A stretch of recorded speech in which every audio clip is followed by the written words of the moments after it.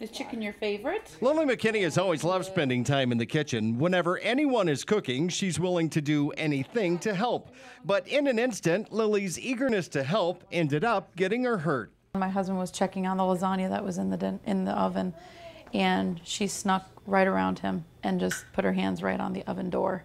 Lily was left with second degree burns on both hands. She spent the night in the hospital and weeks in bandages. And a new study shows that it's kids Lily's age who are still getting burned at a surprising rate. And we found that the kids under age six were actually injured the most.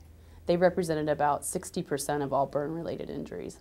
Lara McKenzie is a researcher at Nationwide Children's Hospital. She found that overall burn injuries dropped 31% since 1990 in kids and young adults. That's the good news. The bad news is in children under six, the numbers are still disproportionately high.